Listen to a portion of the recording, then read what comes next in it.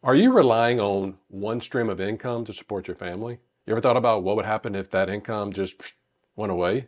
What would you do? How would you function financially? Well, this is something that we absolutely never think about unless we experience it ourselves. Unfortunately, it happened to me about 10 years ago. And my goal for you today, after you watch this video, I want you to completely leave with a new perspective on not just money, but how you make your money. How are you bringing that into the household? If you're new here, I'm Dr. Jeff Anzalone, a dentist in Louisiana, and probably like you, I started off my career following the quote traditional path, working long hours and focusing on building my practice, building my business. When we get out of school, we get out of training, that's what we're focused on, right? But after I had this life changing incident, which I'm going to talk to you in a little bit, I realized, you know what? Jeff, there's got to be a better way. There has to be a better way to function to where I can still enjoy my time with my kids and wife and do things, but also enjoy my business and practice as well. Kind of, kind of bring all that together. And that's what we're going to talk about today. So let me take you back to when, about two weeks after my training, I was supposed to come back here in my hometown of Louisiana to practice with the group. Unfortunately, I'm not going to get into all those details. The whole job offer fell through. And if you've gone to medical school or dental school or law school, or whatever, you'll realize they don't teach you anything about two important parts, money and how to run a business or practice. So I knew how to treat patients, but I didn't know anything about a practice or running, running a business or anything. So I was relying on that group to teach me. Now, when that all fell through, I mean, literally I had already booked the U-Haul to come back here and, and work. I mean, it's, it was just crazy. I'm just, was so focused on it. We'd already bought a home, interest only. We had a two month old owed $300,000 in student loan debt. And if you can imagine in that situation, it was, it was absolutely terrifying. And I look back at all the th- bad things that have happened in my life and they've happened for a reason. I think God puts things in our past to challenge us, to put us through adversity because he knows that something else is coming down the line. And, you know, kind of like I used to play guitar and, and after I played for a while, I started getting these calluses on my fingers. It hurt for a while but then I get calluses and get tough, so I could play more guitar. So I think we go through these different things and it, and it gives these calluses on us so we're ready whenever we go through the next trial or, or tribulation or adversity event or whatever. Long story short, luckily uh, another dental specialist reached out, he heard about things and he allowed me to rent space from him to, to start to network with the dentist in the area. He allowed me, he started to teach me how to run a practice. And during this two year period, he knew that I eventually want to go buy my own building, which I'm, I'm still in today and start my own practice but he was teaching me everything non-clinical. And, and I, and I love these yellow notepads and, and literally every day I was, you know, writing stuff down, know, how to hire somebody, how to do payroll, how to buy, buy supplies, you know, whatever non-clinical issue to, to run a business, to run a practice. And I looked up after about two years and I'd written so many notes, I actually thought, well, you know what, there's probably somebody else out there that can benefit from this and put it all together. I self-published it and it's still selling today on Amazon, my, my first book called Simply What They Don't Teach You in Dental School. It's very basic. You know, if you are a practice owner and you read it, it you know it's really basic, but when you go back and think, well, you know what, they didn't teach me any of this in dental school. So I wanted to put that together. But um, anyway, back then, I was a big Dave Ramsey follower. And I'm glad I was because when we got out, it was just like chaos. It was all over the place. And that setback really put me into survival mode. And I was raised in a household, probably like you or other people, we had like a scarcity mindset. I always thought money was scarce. I'd always heard things like, we can't afford that, that costs too much, we think money grows on trees. And to me, I was thinking, okay, when I get money, because it's limited, I need to hold on to it. And when I had this setback, it, it really put me back into to, to this scarcity survival mode. And back then I was listening to Dave Ramsey and he is really for 90 plus percent of Americans, because, you know, 90% of Americans or more are broke. So that is his target audience. And it's for people that go, there, most of them are employees and they work their entire life. So he's teaching financial principles. He teaches with the baby steps. Okay. And because I was all over the place, I'm glad I had some structure because based on my personality, I need structure my life to follow. I like to follow a plan and I, and I follow the baby steps. And the first one was emergency funds. So we got the emergency fund. And then most people stay in baby step two the longest, which is the debt snowball. That is list out all your debts. You, you would list them out. I actually had a whiteboard like this and I listed them all out, smallest to largest. Throw everything that you can at the smallest one and then pay minimum on, on all your other debts. So psychologically, when you knock out that first debt, it, it snowballs, hence the name debt snowball, and it keeps you going and you just work down the list. I started to do that. It took us about seven and a half years. We paid off the 300K student loans. We paid off that first house because part of his baby steps is to pay off your mortgage. So we paid off that first house, had a college fund going for the kids, 529 plans, practice retirement account. I was funding it along the way. That was one of the differences that I had was he doesn't recommend, he recommends all pausing on investments to get out of debt. And I thought with me having a high enough income once the practice started going, with me being disciplined enough, I could do both. I could pay extra. I didn't, I didn't want to lose all those years of compound interest because remember, I was thinking that you had to operate financially like he was teaching, which there's nothing wrong with it because again, it's for most of the, most people in America, you're going to work for 30 or 40 years. And, and I'm, I'm also looking at all the dentists in my hometown who many of them work until they're 70 or 80. And, and you know, they, we're, we're, constantly hunched over the chair. We're kind of in this position and, you know, our, our neck hurts, our back hurts, arm hurts, hand, carpal tunnel, wrist, all that. But I just thought that's just part of it. You know, that, that's just what you do. You work your entire life and you retire on a 401k and you hope and pray that the stock market is up, which I didn't really think about it back then because I, I was just young and dumb and just was ready to get out of debt and get going. So I'm on this path and I'm cruising along. And after I paid off everything and after I had maxed out the practice account, all extra money was going into Vanguard index funds. And that's how I operated the first 10 to 11 years of my practice. And again, remember, this is all I've been taught. You know, I, would met with a couple, a couple of financial advisors early on, never did go with them uh, because I was strictly could do it myself on Vanguard. Why pay somebody one or 2% a year when I can just do it myself online. And they were also teaching this principle. You know, you have to be consistent with it. I do agree with them. Be consistent with, with whatever you do to be consistent and work 30, 40 years and life goes on. All right. So the, the first issue was the practice, the job falling through. The second issue happened after I've been practicing 10, 11 years. My kids were eight and six. We were snow skiing. We go to Beaver Creek a lot and got off the lift, started going down and I had a, a kid cut in front of me. And I, when I swerved, I fell. You know, when you fall, you you put your hands down. Well, it bent my wrist back. And, and I played sports my whole life and really the only thing that I'd really gotten up until that point was a, a, a, really, really, maybe a fractured ankle, but a really bad sprained ankle. This was like I was a fullback in seventh or eighth grade. And my dad was, was on the sidelines and he, he actually could hear it pop. That's how loud it was. And I was on crutches for like eight or 10 weeks. But up until that, you know, when you never hurt or anything, you don't even think about it. So when this incident happened and I got hurt and it really scared me because you just, you know, you're operating, you're operating financially, you're just, you're going through the motions. And then it's like, whoa, what if I can't practice for a month or two or four months? What if I need surgery? That sort of thing. So all these thoughts started going in my mind. But yet the only thing that I knew what to do was what everybody is doing. They're they're operating on this. They're operating on one one income stream for the most part. This to me was my wake up call and, and, and I could see just how reckless financially this was. Now, if I'm single and I can move around and do stuff, it wasn't be that big of a deal, but being married with two kids, this woke me up. So I said, okay, I got to do something about it. I have to take matters in my own hands and did a deep dive on podcasts, YouTube videos, books, mentors, coaches, friends around here. I've got a bunch of friends that they manage their parents' portfolio, real estate, and real wealthy. And if I could condense months and months of, of this education into two things, this is what this is what I came up with. And actually when I came up with the when I found out these two things, this really helped narrow my focus and guide me to what I needed to be doing. Number one, the majority of people, the majority of really, really wealthy people, they invest in real estate. At that time, I only had my house, nobody was paying me rent, so that didn't even count. All right. And number two, these wealthy people had anywhere from seven to nine income streams. At that that time, Jeff had one. And something that I else that I found out this was this was later on in life when I started to network, get in masterminds, get in groups.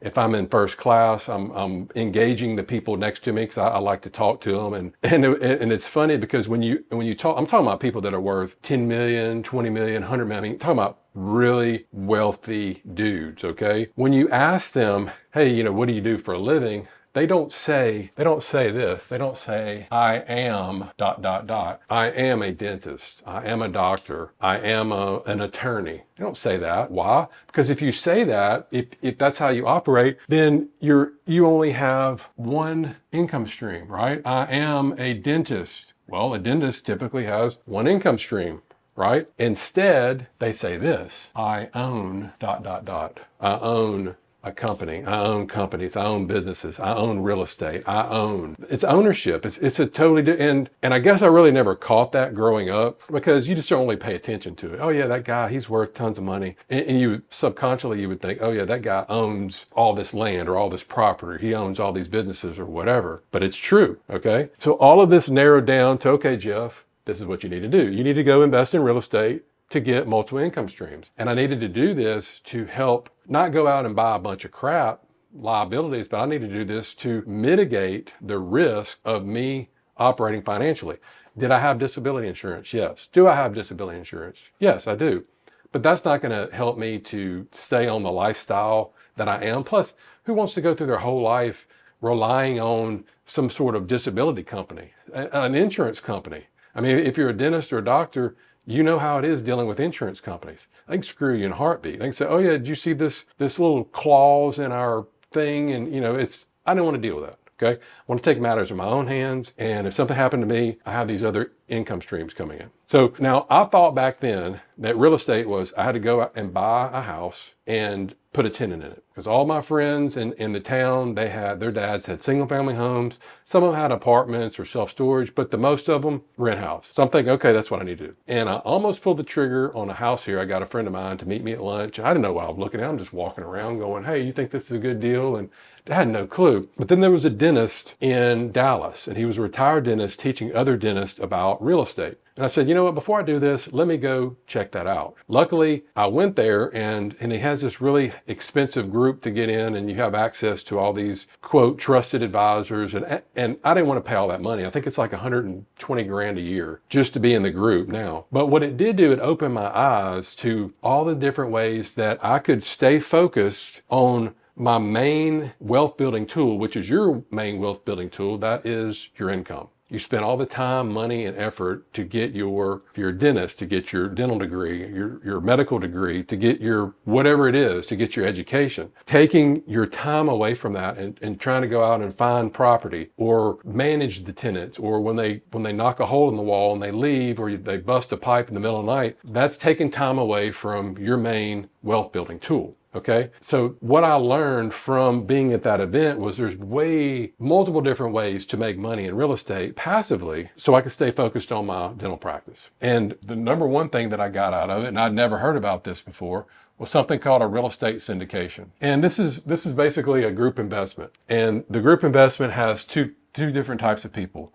They have general partners and they have limited partners. And the easiest way to explain this is being on a flight. Flight has two different types of people. They have the passengers who are the limited partners. And these are these are people that get the seats on the plane. Limited partners are passive investors. And for a passenger on a plane, you you pay your money, you buy your ticket, you sit on the plane. You don't really do much, right? You just go from point A to point B. Limited partners, they buy their ticket to get on the plane. They use their capital to get on the plane to go on the trip. That's pretty much it. And the limited partners, they're putting their money in. The general partners are like the pilots on the plane. They handle everything. You know, they're setting the flight plan. They're they're doing the checklist. They're making sure all the lights and knobs and flaps and engine and everything's working. So for the general partners, they act like the pilots. So they're going out, they're locating the deals, they're finding them, they're managing them, they're dealing with tenants, they're doing all of that. But here's the thing, both both the pilots and the passengers or the general partners and limits partners, they both, even though they have totally different roles, they both have the same thing that they're wanting to do, and that is on a plane, go from point A to point B. But in a real estate syndication, they're both investing in an LLC, and then that LLC buys the property and then eventually, after typically a, a, whole period of five to seven years, that property will sell. All right. And what was really cool about this was I didn't know anything about it, but there was a ton of people doing it. All right. And, and, and a little bit later, I'm going to give you an example of if you are to put your money in one of these syndications, sort of what the returns are expected. Okay. All right. Before we move forward, I want to go back, take a step back to when we were talking about Dave Ramsey. Again, his principles are for the masses. Get out of debt. You don't want any debt. Pay off your debts and then invest in a 401k and live happily ever after. Well, he references the book a lot by Dr. Thomas Stanley called, and you may have heard of this book, The Millionaire next door. This book was actually written in, I believe, 1996 and basically, Dr. Thomas Stanley and one other guy, they went and they interviewed thousands and thousands of everyday millionaires, people that some of them didn't even have college degrees. They just, they worked their whole life. You know, there's good old hardworking people, blue collar people, just regular people people on the street. But these people were millionaires and they wanted to get the what are their traits? What are they doing? And most of them were consistent. They consistently they consistently invested in a 401k. Most of them were very frugal. They bought secondhand cars, they bought used cars, a lot of them bought used clothes, went to the thrift store, just very frugal, very thrifty. They lived below their means. They didn't spend all of their money and then some like like most people. So th- this was, was the characteristics. And here's the thing, and um, again, this was back in 96, but the majority of them made less than $100,000 a year and they still retired a millionaire. So he, he referenced this book a lot and, and I read the book a couple of times and I was, and again, it was just, it kind of, everything went together. That's how I need to operate. That, that's really the only way to operate. And then once my skiing accident happened and I started doing all this research, I started reading a lot of books. And one of the, if not the top financial book, it's kind of crazy because it was written in 1937 and to this day, it's still one of the top books. It, it was written by Napoleon Hill and it's called Think and Grow Rich. Now he's written several other books. Now it's not called How to Get Rich Quick. It's not called How to Get Rich. It's not called how to get rich quick, anything like that. Most people skip over this. It's think and grow rich. God gave us a brain for a reason. And when you read that book, you will realize. So very similar, this book to this one, he went out and he interviewed at that time, again, this is before the Great Depression. He interviewed people that are millionaires. To this day, these people will be multi-billionaires. The, the, the Carnegies, the Rockefellers, I mean, the people that were very, very wealthy. And the same thing, he went out and he wanted to get the traits, the characteristics of what were these people doing? Why were they so successful? Just like Stanley did in The Millionaire Next Door. And I still read this book. I try to read this book at least still once a year, okay? Because I, I, always find something new. And, and, actually, the last time I, I read it, I realized I, I kind of missed something. And, and it's something called the success pyramid. So there's and, and when I looked at recently, when I was reflecting back on my life, and now I'm relying on more income streams from real estate and businesses than my dental income, and I'm looking all the way back at what I've done, this book really resonates with me, okay? Because he found number one, these people, these millionaires and billionaires, they started off with a desire, and not just any desire, a white hot desire. All right. I was in dental school. If, if you're a dentist, you've been in dental school, you can appreciate this. So we used to have to make our, our gold crowns and they would give us little squares of 24 karat gold. And part of that, we'd have to heat it up in a crucible. And when you would heat it up, it would go through different temperature phases, stages, and would change colors. One of the hottest colors is when it turned bright white. All right. And that's, that's what made me think about this. Not just a desire, but a white hot desire to, to do whatever they were doing to be successful. Think about this. How many people that you know that have tried to lose weight and started off like maybe on a diet? Maybe they started in January after they ate too much and at Christmas. So they, they get a gym membership and they last what till end of February and that's it. And they quit. Well, when you when you look at the people that quit versus the people that you hadn't seen in years, you're like, oh my gosh, how much weight have you lost? These people have lost like 100 pounds, 150 pounds. And the characteristic is those people had a white hot desire. They had a why. When I was looking back at what I'd done and what I've accomplished, I had that white hot desire, the wrist injury because no matter what it took, and I have failures, I've lost money, I've gotten scammed by people, I've messed up, but that wasn't going to stop me from doing everything that I can to get out of the financial situation that I was in, relying on that one income stream. So that's number one, white hot. And this, again, this is success pyramid. So you have this white hot desire, which leads to you have to have faith or belief that you can do it. Okay. You have to have faith or belief that you can do it. Imagine being on a football team and you've practiced all summer, you're getting ready to play that first game, and your coach comes in and says, Hey guys, you know, we've been working hard all summer, but you know who we're playing? We're playing the state champions last year and they haven't even really lost any players from last year. I know we've worked hard, but more than likely we're not going to win. But let's just do our best and, and go on out there and fight. Think about that. Think about what the mindset of the players would be like if your coach doesn't have belief in you. It, same thing if, if you don't have belief that you can lose the weight, if you don't have belief that you can become financially independent, if you don't have belief that you can get into medical school or dental school or do whatever. So just, just look back in your life and look about, look at the things that you've accomplished and, and think about it in a perspective was, did you ever doubt yourself? Probably you didn't. And that's probably why you have acquired what you've acquired because you had this faith and belief. So you have the white hot desire. I, I wanted to do something about my financial situation. Okay. I had faith. I had belief because all these other people, I'm reading about these other people. I'm living in the same town as these other people that all around me are investing in real estate. Many of them don't even have a college degree. And here I was with all of these years after, you know, four years of dental school and four years of residency. I, knew I could do it. Okay. So I, I had belief in myself. And then the third part is, and this is one of the most important parts, the A is the action. You have to do something. Ski accident, gave me the desire. I believed I could do it. What I do, I took action. I started to read. I started to network. I started to watch podcasts, listen to podcasts, YouTube videos, taking some sort of action. Finally invested in that first deal, which helped to feed into the desire again to do more of it. And again, these three things just feed on themselves. This is this is the success pyramid. Napoleon Hill, I don't know how many hundreds of people that he interviewed, but this was the trait that all of them had in it. It wasn't like they were super educated or or super talented or, or born with a silver spoon in their mouth. This was how they operated. This is how they thought. Hence the name Think and Grow Rich. Now, initially when we started, I told you that I, wanted you to have two main takeaways from this video.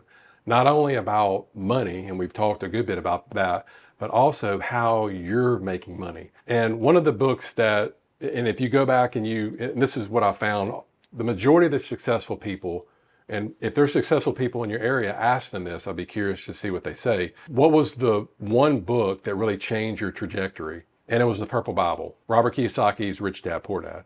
Now, I'm not saying that you have to agree with everything he says, which I don't agree with everything anybody says, okay? But you can take bits and pieces.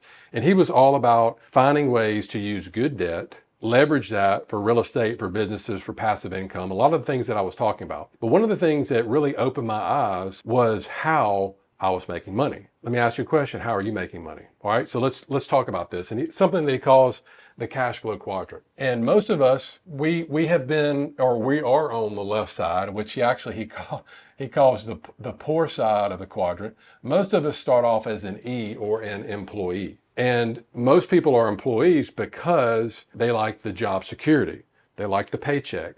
They like the salary. They like, hey, if I go in and clock so many hours, I'm going to get X amount of dollars. So they, they like the benefits, maybe health, maybe life, maybe a, a 401k, that, that security. And you don't have a lot of responsibility. Again, I started off when I was working for that dental specialist. I was an employee for two years. Nothing wrong with it. Nothing wrong if you're an employee now. I'm just, I'm just showing you. I want you to think about how you're making money. The whole point is I want you to think about how you're operating financially, and then you can go in and make the decision. So you have options, not just one. Work until you're 70 or 80 years old and hope and pray the stock market's up when you start taking money out of your 401k. You know, that's what, that's how most of us operate. I'm, I'm trying to give you options. Okay. Now, employees. So that, those are the, the pros of employees. The con of, of the employees is this. You are trading your time for money. As you know, you can always make more money, work longer hours, work on the weekends, take more shifts. Look what the government does when they run out of money. They just print more of it, right? And once you get a, your head around the mindset that money is not scarce, money is not limited, money is unlimited. There's an abundant supply of money.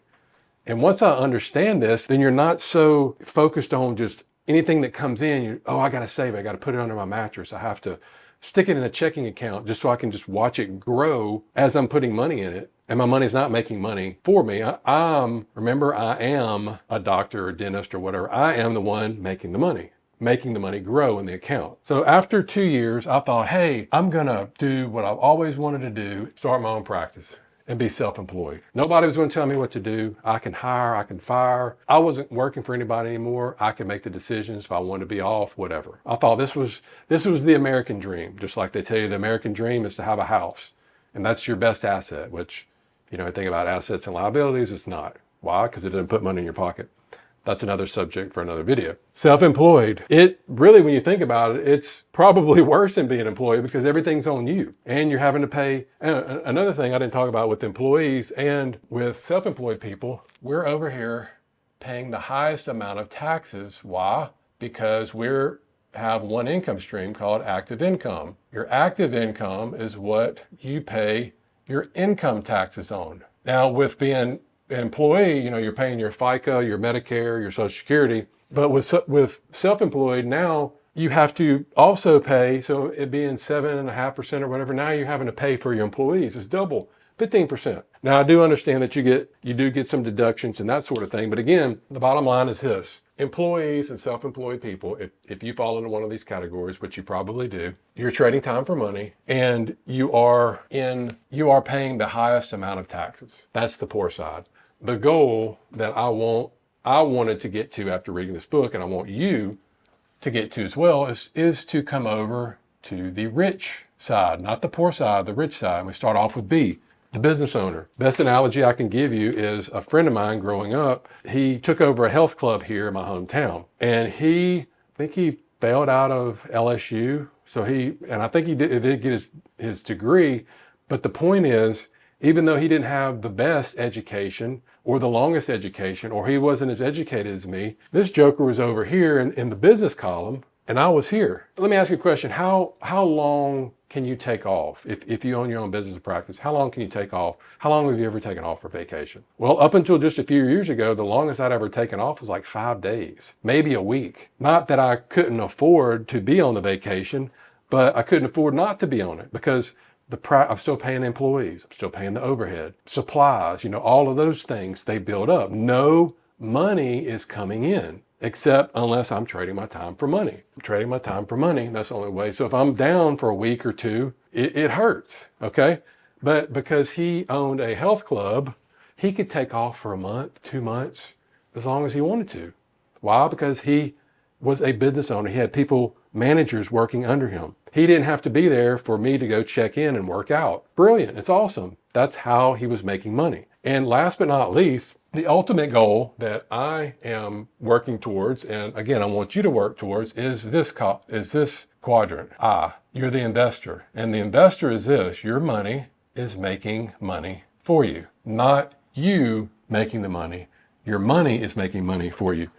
In Shark Tank, Kevin O'Leary, aka Mr. Wonderful, he's always talking about this. He's always talking about getting your money. I think he calls them his soldiers. So every day he has an army of soldiers, which are his dollars, and he's sending those soldiers out to go and bring back more soldiers. They're doing the work, not you. Okay. We talked about this before. So you're focused on your biggest wealth building tool, your active income. And then you take that money, then you invest it into things that make you more money. We talked about real estate syndications earlier, which I'm going to I'm to walk you through what kind of a, a typical one looks like. But again, it, you're being consistent. Is this get rich quick? No. Just like the millionaire next door, they were consistent, consistently putting in their 401k, compound interest. It grew 20 years, 30 years, 40 years, and finally they retired a millionaire. Now, luckily, I've had a high enough income and if you're a doctor, a dentist, attorney, uh, somebody like that, you can do this too, but you have to be consistent with it.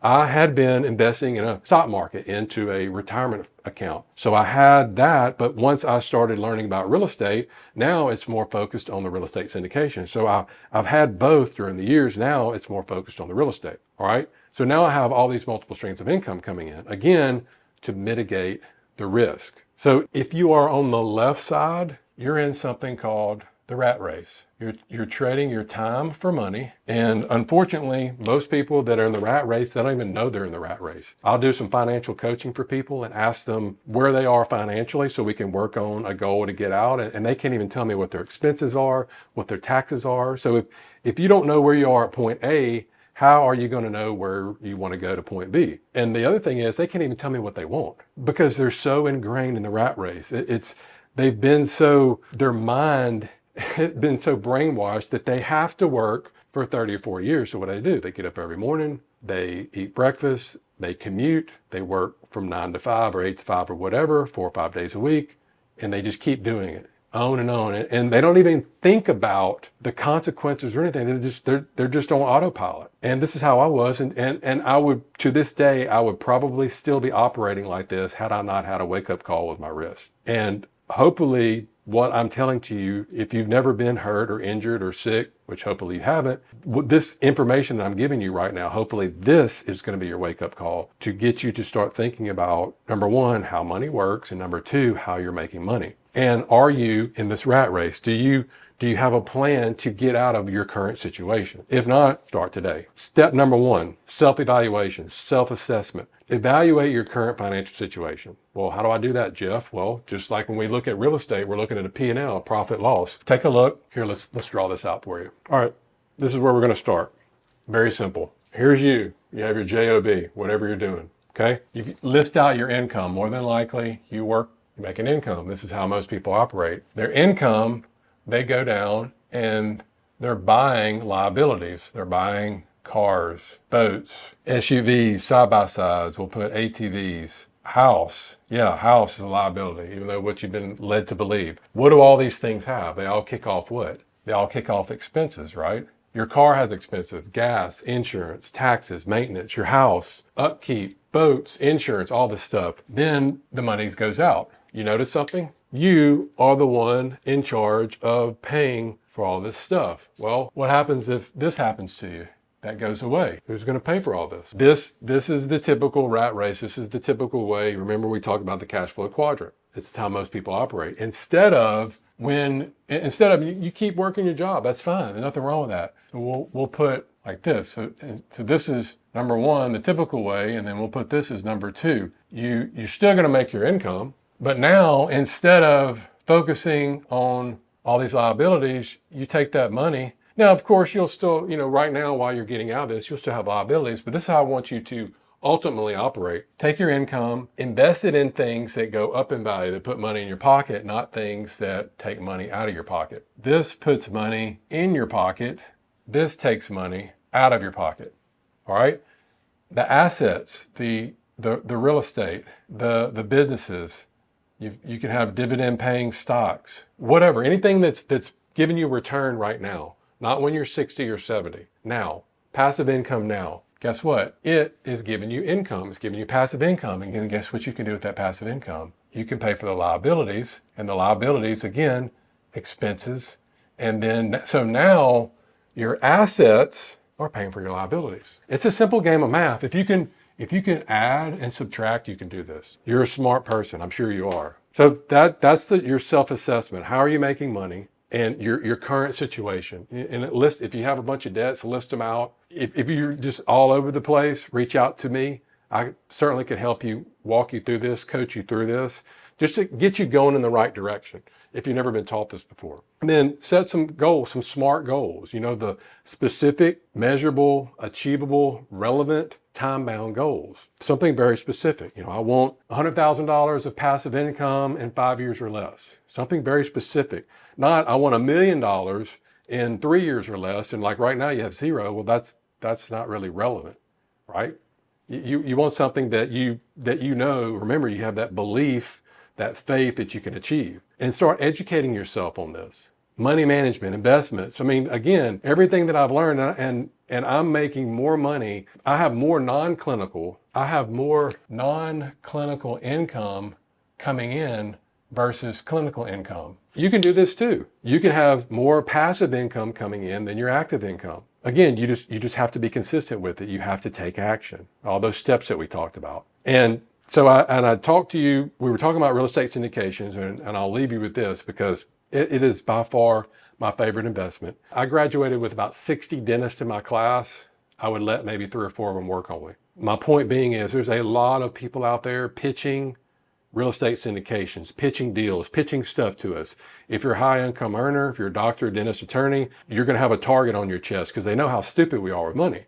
That's the fact of it. Matter. Have I been scammed or screwed before? Yes. Will that happen to me again? Maybe, but now I've, I've learned, I've got those calluses. I've learned from my mistakes. So now I've surrounded myself with people that when people send me stuff, I've got people that are way smarter than me that can look at it. All right. So let me walk you through an example of a real estate syndication and what this could potentially do to your financial future. Okay, here's a, here's a typical structure of not only the real estate syndications that I've been a limited partner in, but now that I'm a general partner in the Blue Metric Group, where we have RV parks, it's, it's all pretty much the same. So the, again, this is very basic. The numbers will work better, be easier to work with if we use a $100,000 investment. $100,000 investment, you're a limited partner in a syndication. All right, so most of them are five to seven year hold period, meaning you put your money in, they're expecting to hold it for five years. Again, this is the average before they sell it or they do a refinance and you get most of your money back. Five year hold period, 8% preferred return, which means that while your money is being held, you get, or they're projecting you to get 8%, which would be $8,000 a year, which most pay you quarterly. So if you divide this by four, so you're getting $2,000 a quarter, which most of this is tax free or tax deferred based on the depreciation. Again, I've got plenty of videos that talk about this, but when you start learning about rich people, I mean, you've probably heard the phrase that Warren Buffett's secretary is in a higher tax bracket than he is. And you think, oh, yeah, whatever, that's just crap. Once you start reading about it and you learn how these people operate, again, remember, they're on the right side. Most of their income is coming in from passive income, not active income. Passive income is taxed the lowest, anywhere from zero to 20%. Then when you start talking about depreciation and getting these losses from real estate, it wipes out. So you're, here's the thing. We've been led to believe you need 10, 10 million, 15 million, 20 million from your financial advisors. They want you to keep working. You know, they want to keep charging you at 1%. You know, you, you, I'll call my financial advisor friends and, oh yeah, I'm in Italy or I'm in the Bahamas or whatever. And I'm sitting here busting my butt at work. I'm like, who's the stupid person here? Me. You know, that's the best job on the planet. And, and the more assets under management they get, they just charge 1%. Of course they, of course, do they, you think they want you to retire early? Hell no. Of course they want you to keep working. That benefits them. And they're supposed to be fiduciary. I hadn't found one yet. So if you want something done right, you want to take matters in your own hands. And that's what I've done. If you want to follow me and, and do what I'm doing, this is what I'm doing. If not, keep doing what you're doing. Doesn't matter to me. It's, it's, it's your money. It's your life. Now, you don't, my point is you don't need as much money as they tell you. Why? Because of this. If you have passive income coming in, and you can get tax-free money. Well, if you're making $400,000 a year and you're paying half in taxes, $200,000 a year, well, you got to work a lot, right? But you can focus on getting $200,000 a year and not pay any taxes. What does that do to your time? It cuts your time in half. You have to work smarter. Hence the name of the book. Remember, was Think and Grow Rich. So you're getting $8,000 a year, all right, over a, over a five-year period. And we'll just we'll just do this. So after five years, let's say the let's say the property sells eight times five. So you've gotten forty thousand dollars in passive income, and you've paid no tax on it. Then you get your original investment back, hundred thousand, and, and the majority of the of these have a equity multiple of two x or more. What that basically means is whatever investment that you put in, they're projecting you to two x your money. You put in 100, they're projecting you to come out with 200,000. So in this case, they're projecting you to get roughly about a, a $60,000 $60,000 profit. So when you add all this up, hence the $200,000. All right, so think about this. If you if you did this every year, let's show you what it can happen. So this I'm trying to keep this as simple as possible, not overwhelm you. This is just for illustrative purposes only, okay? So if, if same scenario. You're investing $100,000. So instead of putting it in the stock market, you're going you're to say, okay, I want to start doing these real estate syndications. So you're putting in, and this is, here's the years right here. So you're, again, we're being consistent with it, right? Putting in 100,000 a year. Well, remember we said this, this first deal, it's going to sell or refinance in five years. So after you've been doing this for five years, you've done 100,000 a year in different deals. Okay you get to year six, you put your $100,000 a year, but remember your 100,000 now on that first deal, what did it do? It doubled.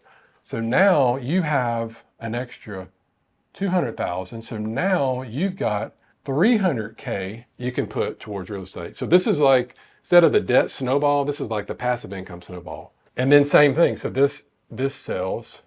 And then year seven, this one sells. So same thing, you got 100,000 plus this. So now you got, and then you could just, you just keep going on and on. But again, the point is you're you're acquiring income each. So this let's say it's again it's an eight percent preferred return. So you're you have eight thousand dollars coming in.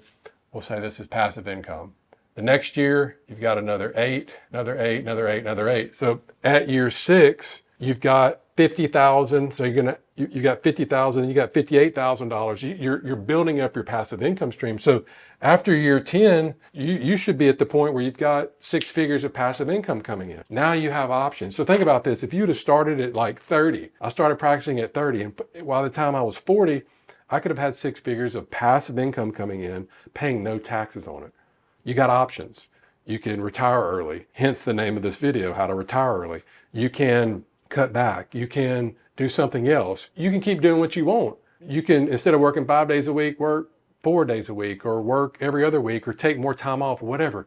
My point being is you have options when you follow something like this. This is, a, this is just one of many examples of passive income. You can go out and buy other practices. You can go out and buy other businesses. You can go start your own side hustle, whatever it is. My point being is once you start thinking differently and not just, I have to get up every morning and go to work and that's my only option and I'm miserable and I'm and I feel sorry for myself and I have to do this for the rest of my life. No, you do not. Okay. You do not have to do this. So my, my point being is I hope now you understand about money a little bit better how it works, how taxes work, how you're making money, how that more than likely that you're in the rat race, how important it is to shift your mindset, okay? Shift your mindset to get out of the rat race.